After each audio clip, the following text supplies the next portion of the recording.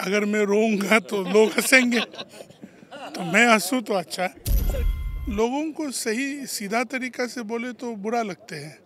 तो थोड़ा हंस के बोले अपने आप में उसमें सुनने में भी एक मज़ा होता है।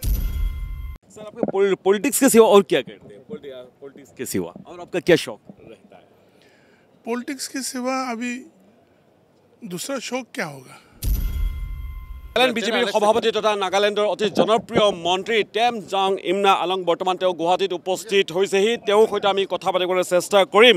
শেহতীয়াভাৱে দেখা পোৱা গৈছে সমগ্ৰ দেশতে নিজৰ এক ব্যতিক্ৰমী নিজৰ এক ব্যতিক্ৰমী চৰিত্ৰৰে ব্যতিক্ৰমী চৰিত্ৰৰে তেওঁ সমগ্ৰ দেশতে চৰ্চা লাভ কৰিবলৈ সক্ষম হৈছে টেম জং ইমনা আলং। তেওঁৰ সৈতে আমি কথা পাতিবলৈ চেষ্টা কৰিম।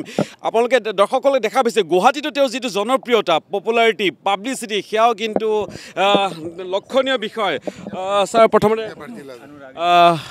first I welcome to you in Guwahati और सर पहले तो मैं आपसे जानना चाहूँगा गुवाहाटी से कैसा नाता है आपका आसाम से गुवाहाटी से गुवाहाटी असम का राज कैपिटल है राजधानी है और सिर्फ असम का ही नहीं पूरा पूर्वोत्तर का राजधानी है असम से ही हम सब राज्य जो पूर्वोत्तर का है, निकल के गया है। तो आसाम हम लोगों का माँ बाप की तरह और बड़ा भाई की तरह होता है।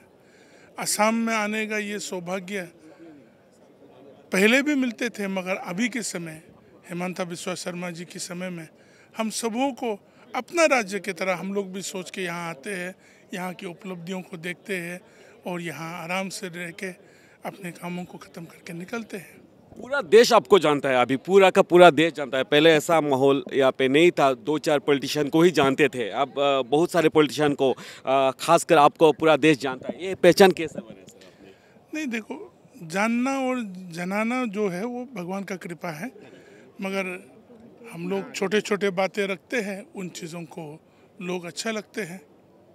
मगर हमें भी सौभाग्य है कि नागालैंड जैसा छोटा सा राज्य से लोग जानते हैं पूछते हैं तो थोड़ा बहुत अपने आप को भी संतुलन करके आए सही तरीका से रहने के लिए कोशिश करने का मौका भी मिलते हैं। सर आपके पॉलिटिक्स के सिवा और क्या करते हैं? पॉलिटिक्स के सिवा और आपका क्या शौक रहता है?